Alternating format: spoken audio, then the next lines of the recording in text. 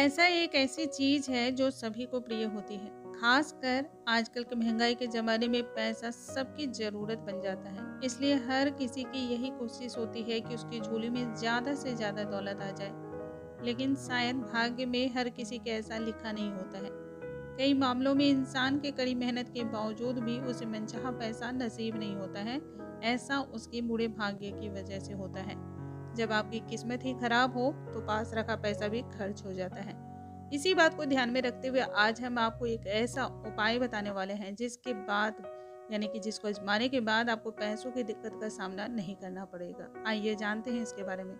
नमस्कार दोस्तों, कैसे हैं आप सभी? उम्मीद करती हूँ आप सभी स्वस्थ होंगे, सुरक्षित होंगे और आप सभी उत्तम भविष्य की कामना करते हुए आज का ये वीडियो स्टार्ट करती हूँ। दोस्तों, वैसे तो धन की देवी माता लक्ष्मी को माना जाता है, लेकिन आपने कभी गौर किया है? गणेश जी भाग्य के विधाता हैं। किसी भी जातक के भाग्य को कैसे पलटना है, ये गणेश जी को अच्छे से आता है।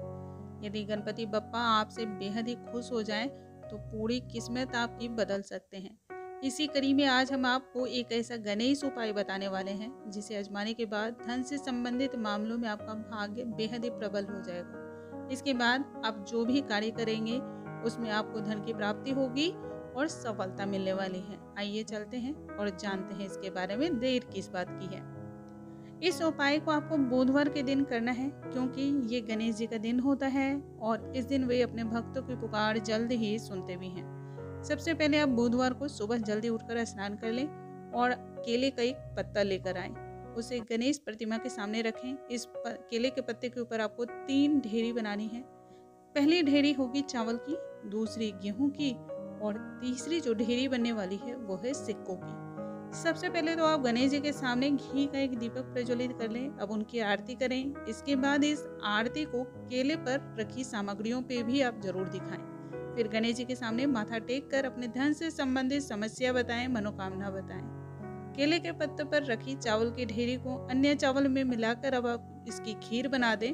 वहीं गेहूँ को आटे में मिलाकर उसकी पूड़ियाँ बना लें। अब ये खीर और पूड़ी सबसे पहले आप गाय को खिलाएँ। इसके बाद घर के सभी सदस्य भी इसे प्रसाद स्वरूप समझकर ज़रूर ग्रहण करें। तीसरी ढेरी जो है सिक्कों की। आपने जो तीसरी ढेरी बनाई थी सिक्कों की, उसमें एक सिक्का आप घर की तिजोरी में रख दें। इससे बरकत बनी रहती है। इसके बाद एक सिक्का आप अपने पर्स में भी रख सकते हैं। जिसे आप खर्च बिल्कुल ना करें। बाकी के सिक्के आप गरीबों में बांट दें। इन क्रियाओं को कर कर देखें, आपको कभी किसी के सामने हाथ फैलाने की ज़रूरत नहीं पड़ने वाली है। दोस्तों, मुझे उम्मीद है आज की ये जानकारी आप सभी को बहुत अधिक पसंद आई होगी। जानकारी पसंद आई हो तो इसे ज़्यादा से ज़्यादा शेयर करना बिल्कुल ना भूलें। अगले वीडियो में एक नई जानकारी के साथ फिर से मिलूँगी। तब तक के लिए नमस्कार दोस्तों।